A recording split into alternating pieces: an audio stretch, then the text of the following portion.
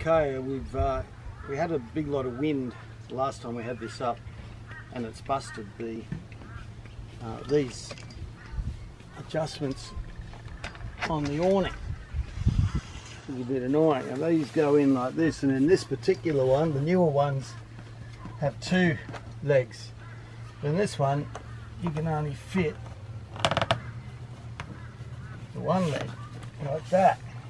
So the ones that they provide you from the store all seem to be this long.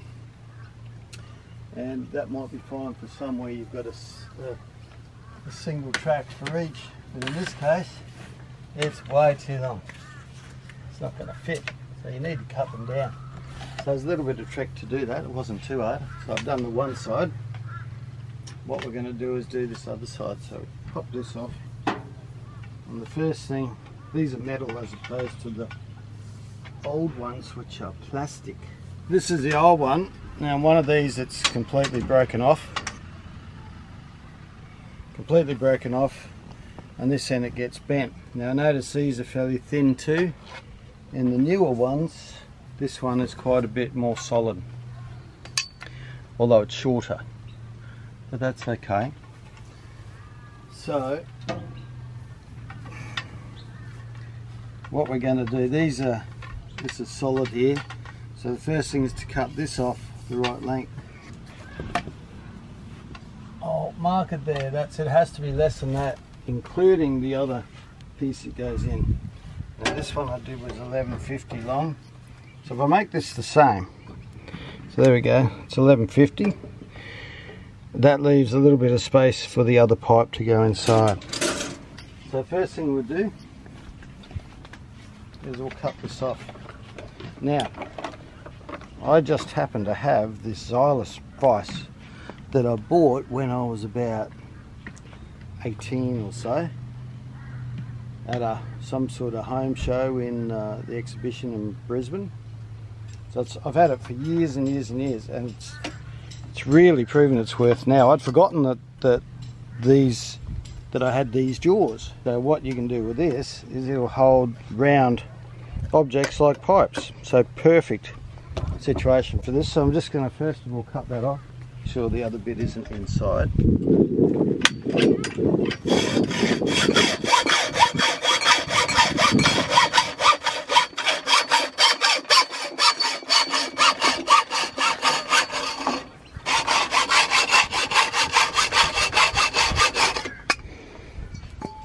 Okay, we just a little bit of a file, it's not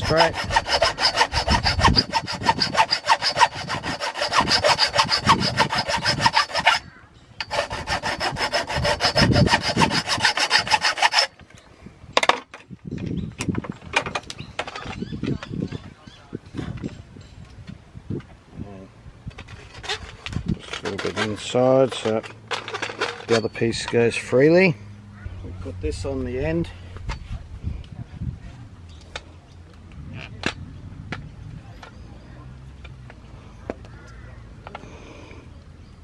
That looks about it. Now, that one in there.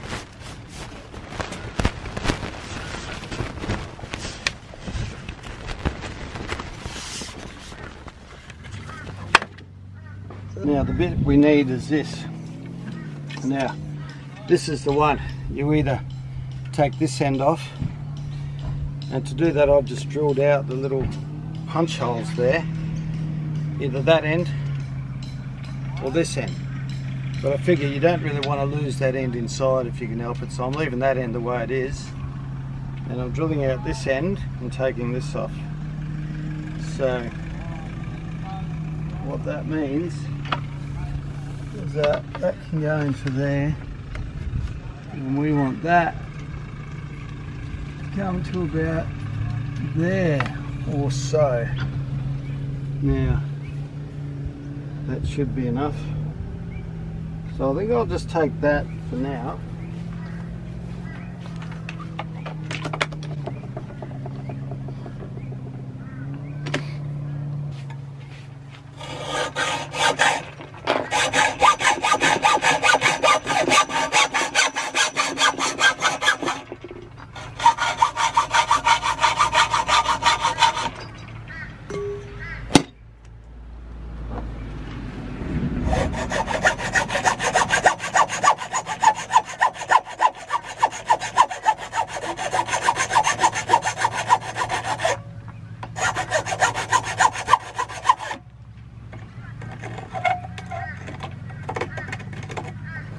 Want to make sure that's smooth inside because we're going to slide in a little piece of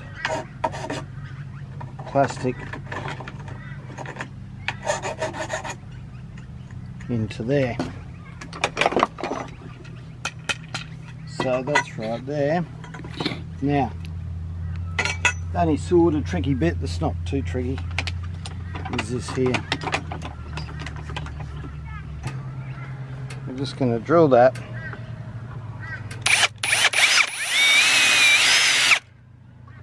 Try not to go through the plastic, although I did a little. I think that's going to matter. And we go to the other side.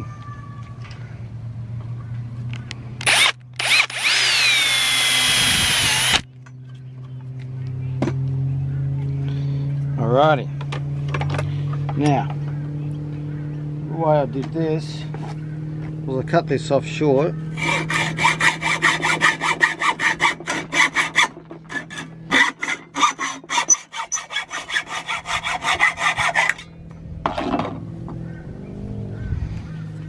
And then I use this, which just fits nicely up inside.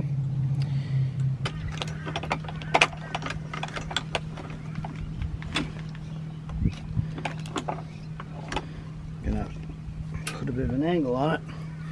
Let's see if we can now. And there it is. Beauty.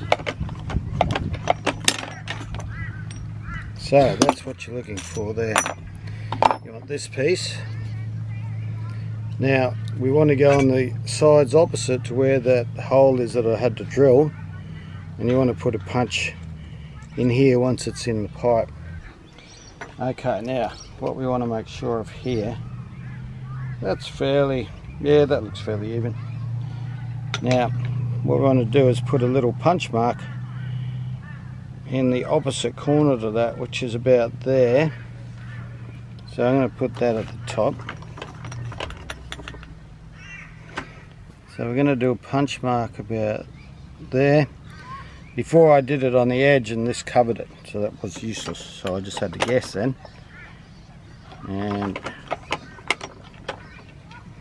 180 degrees to that which is about there. That'll do for a punch mark. So I'm going to actually do this on the board. Now, I can't find my center punch, so I've got an automatic center punch, so it of course bounces on the spring. But by using this, it's not ideal, but it does allow me to give that a bit of a hit and hopefully to hold it. So, see how we go.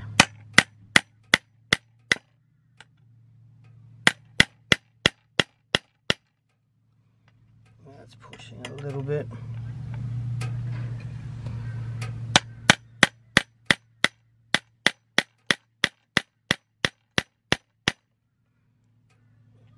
Now, it looks like that's worked, that's fairly solid. If anyone's got any better ideas on how you could get this to hold, I'd uh, leave it in the comments if you can.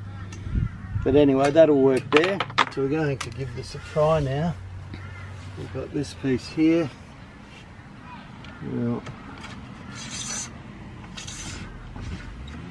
Yep, so that works. Spin this out here. And that's going to be long enough. And it'll go all the way back in. And the important part is it'll fit in there and miss that. So all I need to do now is bolt this in. Okay, so that looks like that's lined up. You've got the bolt here.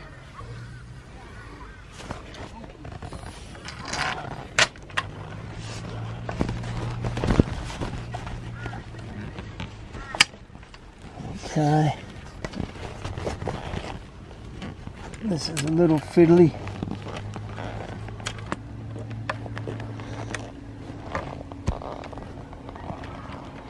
These were the bolts that came out of it. Well, the other end was, and I've matched it.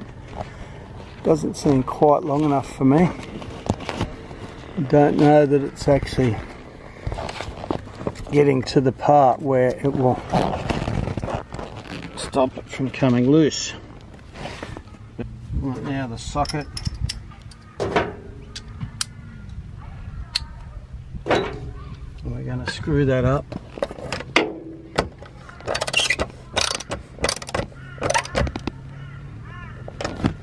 And there we go, that's tight. We'll have to see whether it stays tight or not.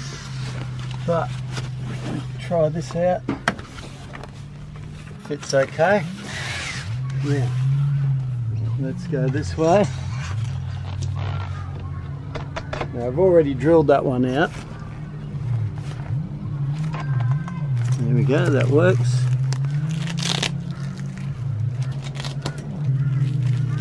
And this one. Alright, that's that side done. Now the other side. I wonder if that's loose the other way. Oh, that's better. Yeah, it goes that way. Okay, so we're bring that out here. Up a little bit further. Okay, now the problem here is that that is too big for it. So, so this is an 8 mil. I could have gone 8.5 mil, but there's not much aluminium there. So I want to do as minimal a hole as I can. So, just do that to make it a little bit bigger. And now I should be able to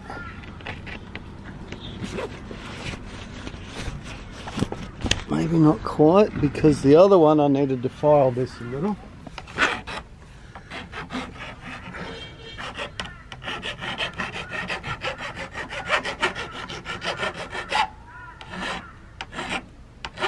It off all the way around. So no bits larger than 8 millimeters. That should be okay. Okay. Let's try that. There we go. That's a good fit. And now we'll tighten this up.